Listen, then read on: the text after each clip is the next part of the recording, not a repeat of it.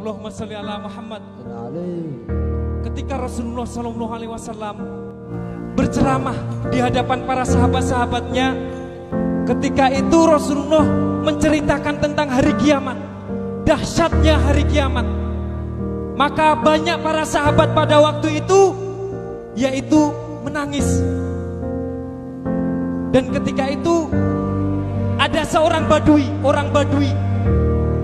Dia tidak menangis. Jadi sahabat Abu Bakar, Umar, Uthman, Ali, dia merasa amalannya kurang. Tapi orang badui itu gak menangis. Malah dia tanya kepada Rasulullah SAW.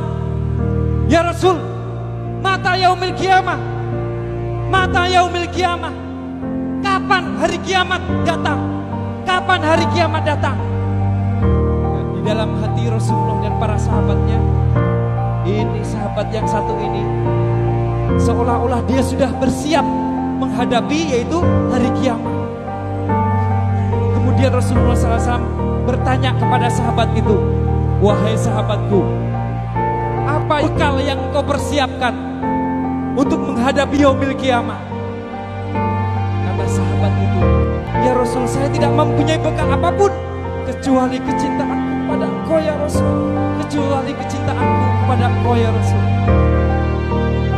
Rasul tersenyum dan Rasul mengatakan, orang yang mencintai dan yang dicintai, dia akan bersama-sama yaitu di surga.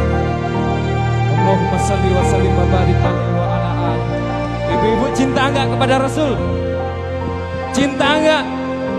Rindu enggak? Kalau cinta kepada Rasul, man ahabba syai'an. Siapa yang mencintai sesuatu, aktsara min dzikri, maka ia pun yaitu memperbanyak menyebut nama-namanya. Sebagaimana kalau kita cinta kepada kekasih kita. Nah, ini kalau kalau pemuda-pemuda cinta kepada kekasihnya, seorang suami cinta kepada istrinya, kan sering menyebut nama-namanya. Betul enggak? Sampai dilakukan itu main gitar kan. Aisyah, kau gadis yang paling cantik. Aisyah, kau gadis yang paling manis. Ya, kalau kita cinta kepada Rasulullah Sallallahu Alaihi Wasallam, ya banyakin salawat kepada Rasulullah Sallallahu Alaihi Wasallam. Ya Rabbi salli ala Muhammad Ya Rabbi salli alaihi wasallim Ya Rabbi salli ala Muhammad